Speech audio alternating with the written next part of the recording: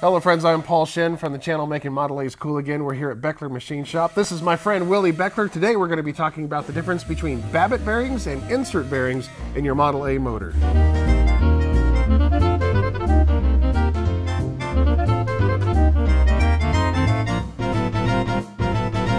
Alright, it's early in the morning and I have two Model A blocks loaded up. This is the one that I've been working on and this one is just a block that we pulled out of the stash. To see whether or not this thing is worth rebuilding. Let's find out. At the Blue Collar Mobile made it. Baechler Machine, San Andreas, California. For those of you that have been watching my videos for quite a while, you know that this man is one of my best friends because he bails me out all the time. This is my machine guy who does all my Model A engine work. And we've talked about Babbitt bearings, we've talked about insert bearings before. What are the differences? We never really got into it. So today, today is the day we're finally going to talk about it.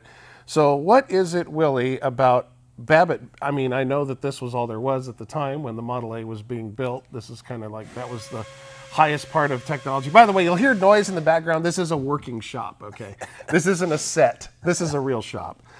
And I think uh, I think it was, was, like diesel engines and stuff still use Babbitt, don't they? Some of them do, yeah. Some of the uh, what Babbitt is is basically tin.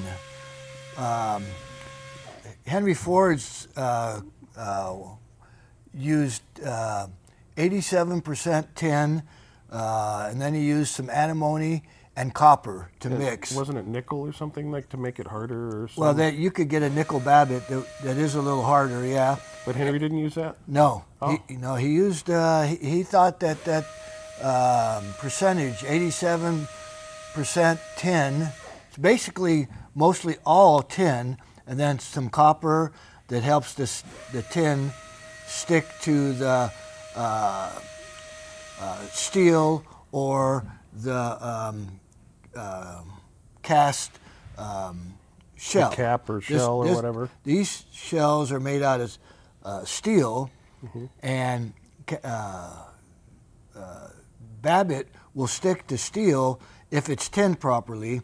Oh. Better than it does to cast iron. Oh. Cast iron, it, uh, Babbitt doesn't stick to it unless you uh, coat it with maybe brass or copper it'll stick to that.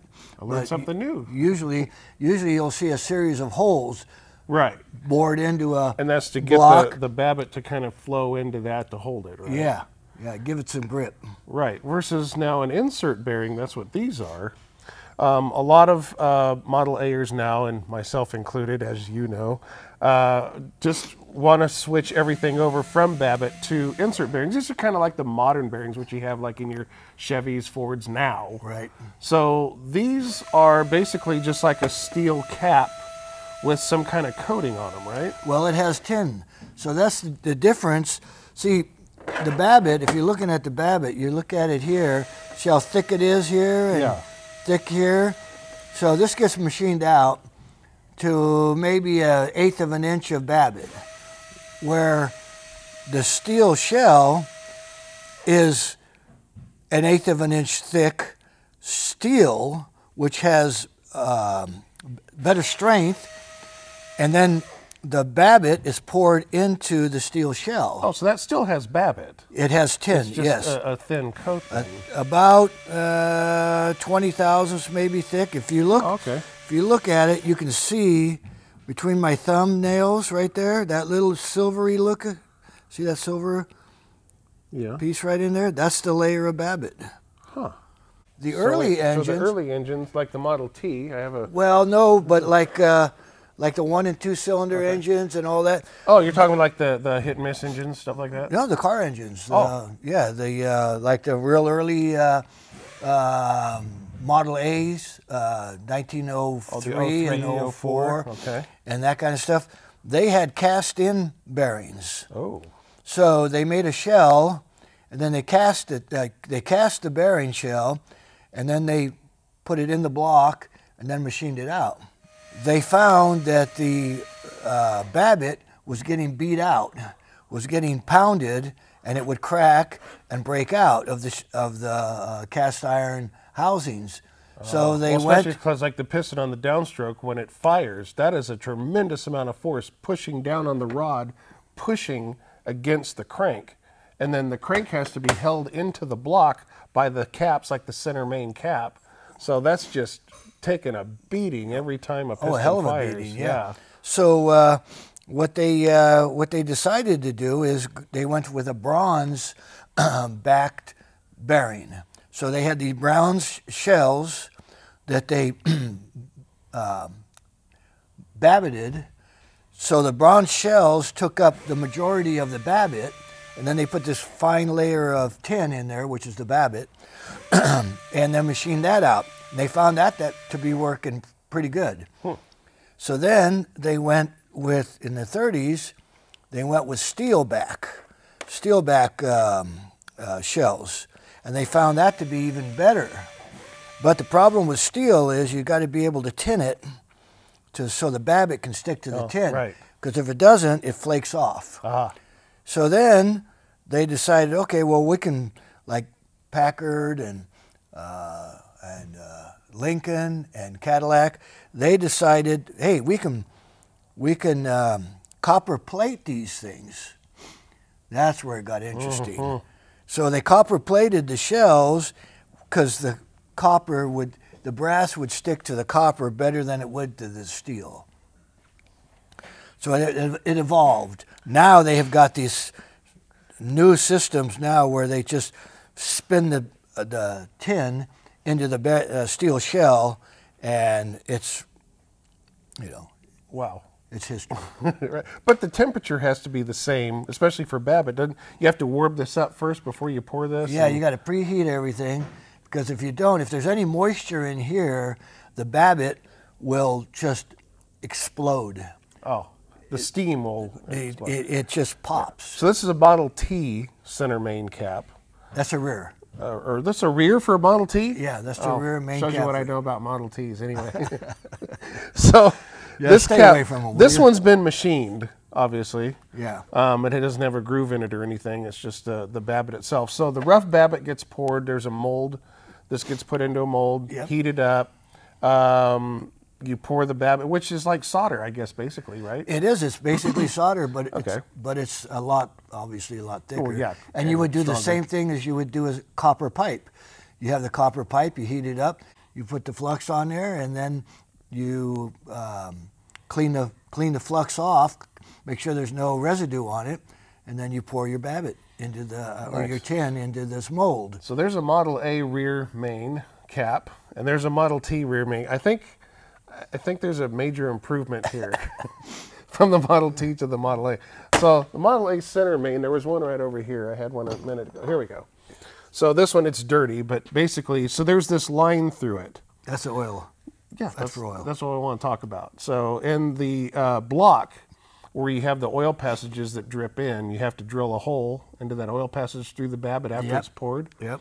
And then you have to machine this line into it, and that's what allows the oil to flow from front to back, right? Yep. So so Kara Wilson has a, uh, uh, a um pouring jig that has this groove in it already, Mm-hmm. and then it has. If you look on the sides here, that's where the oil gets collected on the sides. The Right. groove goes into here and then into these sides, and it helps to lubricate the uh, crankshaft. Well, I'll show you on a clean one. I'll put an image up from one at my shop at home. Then you can see what they look like when they're clean. Okay, that makes sense. So we're talking about rods. Well, and then So- and then if you're looking Oh. at this cap, you've got to look at this area here. Where's That's the, the thrust bearing. Thrust bearing. I almost forgot about that part. I'm glad you brought that up. Okay, so you also have to machine the thrust bearing, and how much Babbitt is left on this after you machine this? Uh, about half of that is gone. About half so of this is maybe about an eighth of an inch or, or less. Okay, and then there's also the oil drain tube. This is the tube that kind of comes down and then angles, so that oil that gets into uh, the rear, Right, the in this- slinger, Goes back right in this back here. See that hole, that little hole right there? Right. Goes in, collects in here, and then drains back out. Drains you got to be really there. careful when you're pouring those the babbitts Yeah, not to get it down in there. plug it up. yeah, right. Or the, or the other issue is this tube. oh, the see tube the- that comes down. See if the tube is down into the hole too far, Yeah. and it plugs up the uh, hole that comes this way, yeah. That's where a lot of guys get oil leaks. yeah. You talk about your rear main oil leak, and you just had your engine babbited, and there's oil pouring all over the gushing out the back. it's probably because this drain is plugged up. Or plugged up, or yeah, could be lots of things. But I've also noticed um, to keep them from falling out, people will do amazing things like JB Weld and all that. Or, and or, I see them put JB Weld in there and then stick the tube in. like, oh no! Doink, doink. Yeah. comes. Oopsie daisy. so yeah, you always want to take this free, this little soft plug out of here, this right. core plug, take it out and make sure you drill a hole through there and make sure that that pipe isn't too far in there. And if it is, take a little grinder in there and grind it out. Grind out the end of it, and then yeah. off you go. Yeah. Off you go. Otherwise, it'll make your garage floor look like yeah. my dad's garage floor. Yeah. Most, okay. And most but, machine shops get uh, get uh, ridiculed for. Uh, oh, we just had the Babbitt work done, and man, that thing leaks more than it did with my old engine, right. my old worn out son of a gun. You can just change the inserts, can't you? Yeah, yeah. You just got to make sure that uh, you get the right size. Right. You know, because they make them in uh, uh, standards, 10s, 20s, 30s. Right. Well, if you turn the crank down, let's say for some reason there's some damage to one of the journals or something, and let's say that the crank is out of round or something like that, you can turn a crank to get it round again, but you turn it down in 10,000 increments. Right, yeah. And then the inserts also have to be built up to that. So actually, these get smaller as the crank gets smaller, I guess. The crank gets smaller, these get bigger. Thicker. Thicker. Thicker, there we go. Thicker. Now, let's talk about rods. So, a Model A rod, as you know, does not have pressurized oiling unless modified in some way, which means drilling a crank and all kinds of stuff. Uh, but the way they work is there's this little dipper right here. So in the oil pan, I'll show a picture of an oil pan right here and what a dipper tray looks like. The dipper tray fills up with oil. As the rods are turning, they go down and dip into that oil. And then that oil gets shoved into this area between the crank and the rod cap and the rod itself. So these are babbited rods. So these have not been machined yet, it looks like. Nope. So there's a couple things that are interesting on this. Number one is the thickness here like the bearing surface. So when this gets bolted onto a crank, as it is right now, would be too wide for the crank journal. So you have to machine this down, and this is like a thrust washer, I guess, surface. Then, that right? is a thrust surface, yes. Thrust surface, thank you, Willie. Okay. I'm learning, see? and then you have to machine this down, the diameter, to the size of the crank. And you got to make sure that when you're machining it, you got the right length from oh, here yes. to here. The center here to the center here has to be has to be seven inches and something. Yeah, whatever it is. Yeah. We'll look it up. I know. Les Andrews probably knows it off the top of his head. So uh, once that's done, so uh, the, the other thing is too, this has to have a line uh, cut into it, right? Yeah. For the oil and everything to go around. And then that hole has to be drilled so that oil can flow into the surface. So, so when balancing the rods, I learned how to balance rods recently, by the way. So I figured out we put it on the machine. You have to balance it this way, you and then two, you balance it this way. You have two weights on a connecting rod. You have the right. reciprocating weight, the up and down, right. and then you have the rotating weight, That's go this. around and around. So, and so when you balance the rods, they all have to be the same, end to end. Well, you yeah, you balance the, the little ends first. You make sure that all the little ends are exactly the same weight, and then you take and weigh the uh, total weight uh, and then you subtract the little end from the big end, and that tells you your reciprocating weight. Okay, so question, where do you take the weight off of when balancing? Well, that's a tough one on these because uh, I, when I'm doing a balance job, I always take a set of rods that are close from oh, the very they're beginning. already close. Very, yeah, because these things can be all over the map. And sometimes I've seen them as much as 30 grams heavier on the big end and trying to get 30 grams off oh, of here is a bitch. Where do you take it? So you see this area right here? Yes, right here. Right there, this area right here? Yeah. So you put that in your machine and you mill that off. It's easier to get metal off with a mill than it is with a hand grinder. That's a fact. And when you're hand grinding, the big thing with the hand grinding is that you don't get the little uh, sparks and chips come flying out because what it does, it ends up embedding into the Babbitt. Yep. it sticks to it. It sticks to it, and then you got a bit. Then you got a heck of a time cleaning up. So I take my mill and I cut in here in this area here. I'll take a little off of here, a little off of Yeah, there. there's some extra meat here. Yeah, you can take a little off of here. You know, if you're a couple of grams, no big deal. But if it's 30 grams, Big deal. it's a big deal. Well, what about the difference? I've had somebody ask this in cotter pins. So you put the nuts on, okay, you torque this, and then you put the cotter pins in. What about using like uh, different cotter pins than another rod? Let's say you ran out, so you grab the Harbor Freight box of cotter pins and you start using those for the rest. How much difference is there in that? Not much. Not enough to worry about. No, not much at all. There's your answer, Rob. Maybe a half, maybe a half a gram or something like that. Difference, maybe a, not even a gram. You know, a gram. I mean, I don't know if you. Oh yeah, it's like nothing. Well, I know that from flying indoor model airplanes. You know where everything is measured in tenths of a gram.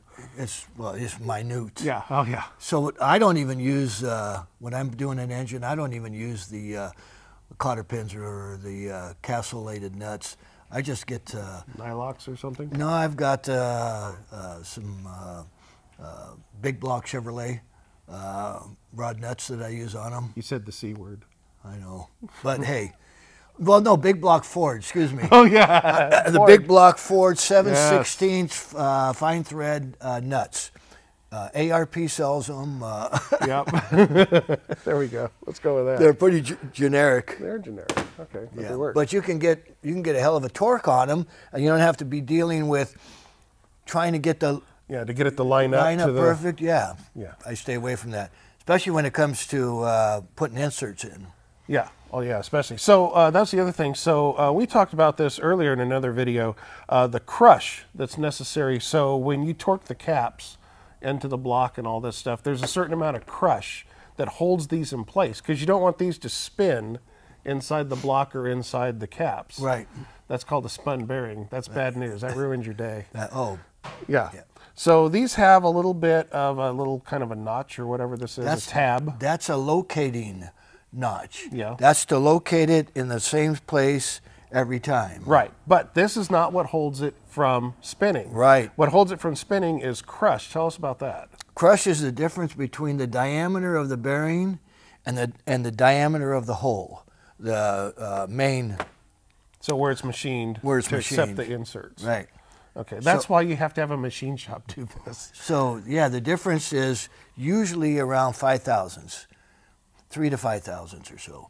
So the bearing is bigger in diameter than the hole by three to five thousandths, and that's easy to check if you ever. It's a ball micrometer or something. No, gotta check the no. What you do is the- you, you put the you put the uh, shell in the block, and then you put the cap down on top, and tighten it up. Get it snug. Without the then, crank. No, without the crank in it. Yes. Then back off. Then one side of the cap, like this side or this side, doesn't matter. Back off one. Then take a feeler gauge and put it between the block and the and the um, Cap. cap with the bearing in place, not up against the bearing, but just between the block and the cap. Take your feeler gauge, put it in there, and it should be should read between three and five thousandths, Interesting. with Okay. one side snug and the other side loose. Okay, now let's talk about longevity. So, Babbitt, how long does Babbitt last? I know the answer to this. I want to hear his answer. how long does Babbitt last? Well, it depends on what they do with in it. miles. Well, your Well, average don't- Model Air, Well, I your average touring car. I don't know. I don't really uh, Not have racing that. car, but- I don't have that knowledge in my head. I will give you the answer. You ready? Yeah. 68,000 miles. and then it splatters, no matter how nice you are to it. I'm not bitter or anything, That makes sense. but my favorite, best running Model A motor I ever had splattered at 68,000. It made me sick. I still feel sick. but we turned it into inserts, and now it's back on the road again. And the be and, and I think the reason being is the Babbitt is so thick that it gets pounded, and the more it gets pounded, it, it gets it gets harder, Harder and and harder harder. and harder Until it breaks. until it, yeah. And then pieces of it actually start breaking off and end up in the dipper trays or in the oil pan or whatever. And you don't know it. You don't know it when it's happening. And then as more and more pieces break off and fall off or melt off or whatever's happening, all of a sudden you've got crank steel to cap steel contact. Oh yeah, you got you got And a that's mess. ugly. You got a, you got a mess. Now inserts. How long are these good for? These are in modern engines. Well, as long as you uh, as long as you keep good oil in them and keep oil in them, and uh, uh, they should last hundreds of thousands of miles. you would think, yeah. Yeah. So theoretically, you could build up your Model A motor to where the lower end is like good for 100,000 or more miles. Yeah. Easy. Never have to think about. it. All you got to worry about is top end now. Which Make top sure end you for a change your oil and get a maybe get a, some sort of a filtering system in there. You know. Oil filters, yeah. Yeah, that makes makes a difference. I would think. All my touring cars, as you know, have oil filters. The ones that don't get driven very much, I don't worry about it, but I change the oil so often, you know, for, for miles, it doesn't matter because, you know, after they sit for a year or two, you've got moisture in it, things like that, the oil gets changed. So, like the oil in my four door gets changed probably at 100 miles. so I don't know, I don't worry about an oil filter in that, but like the coupe, the two door, uh, you know, the, the four door that nobody's ever going to see on the channel so that I can sneak in and out of places without being uh, spotted. Uh, you know, that thing, those all have oil filters. And those go three, four, five thousand miles before the oil gets dark, so don't even worry about it. So theoretically, switching to inserts, you have a Model A motor that will outlast you. Yeah, it should it should uh, and it, if it's done properly, it should be per- perfect for a long A regular time. Ford cast Model A block can outlast you Yeah. or me. Yeah. All that. Worn out. So the inserts come in a little pack like that. Where'd you get these from? I got uh, most of your suppliers have them, like uh, Snyder's or Bert's, Bert's, Bratton's, all of Brett, and them all those guys. come in a box just like that. Th- these came from uh, The AER. yeah, They look like your riches. antique uh, engine uh, Rebuilding. rebuilder in S- Spokane, Illinois, or wherever it is. Skokie, I think it's. Skokie. Yeah. Yeah. Shout out to Rich. Yep. He. Uh, yeah, he's the guy that created these. Uh, they're pretty damn good. That's what Oh, we yeah. use. These are for the rods. So- No, those are all the oh, mains. Those are all the mains. Oh, Yeah. this is the must be the center. Yeah. Center. Yeah. This is the rear. Yep. See, it's a good thing I'm not building these engines, huh?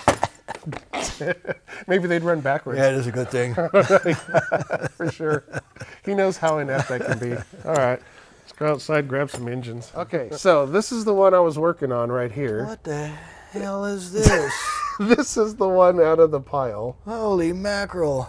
Yeah, isn't that beautiful? So we just want to see whether or not we could actually turn that into a running engine. Okay. And then this one here, I think what I want to do with this is just go full inserts. Right now the rods are inserted, mains are Babbitt. I think it's time to just go full inserts. So I threw the cam in it, uh, so you can check the cam to see if it needs to be reground or if it's okay. And then that. And it's Okay. got the oil return tube right Yeah, brand new one too. there. And it's clear, you can blow through it and actually hear air come It's not even JB welded No, it's not. or welded. No, I did it the right way. Man, I try. Henry would be proud of you. I've gotten to the point now I don't trust Babbitt at all. I mean, I just do not trust it. Even in a car that doesn't get driven very much, I don't trust it. Oh, this is a diamond block. Yes. Hello. Nice. Thank you. so this block was made after Model A production was over. Ford continued making Model A engine blocks for industrial purposes, pumps, generators, stuff like that, whatever. And you could buy a aftermarket, but still made by Ford engine block up until what was it, 1938 or 9 or something. So that's what these blocks with the little diamond right there is. That's what the guys are all uh, are looking after. That's what they want. Well, because High nickel, is, right? uh, high nickel, it's a lot less prone to cracking or you know some other issue. You okay? Sure. Yep. How about you? Yeah, I'm good. I don't look it, but I am. All right, friends. So there you go. There is the difference between inserts and Babbitt bearings. I hope that was educational. As we get ready to start putting these motors together, I will bring you more coverage of that. Willie will be around, and uh, maybe we'll explain some of uh, what we're doing when we're assembling the motor. Thank you so much for watching. I'll catch you on the next video. I got dirty You did? working on your again. Oh, I'm sorry. You always get dirty working on my garbage. I should bring some clean stuff here just to throw you off. oh, wouldn't that be something? Yeah.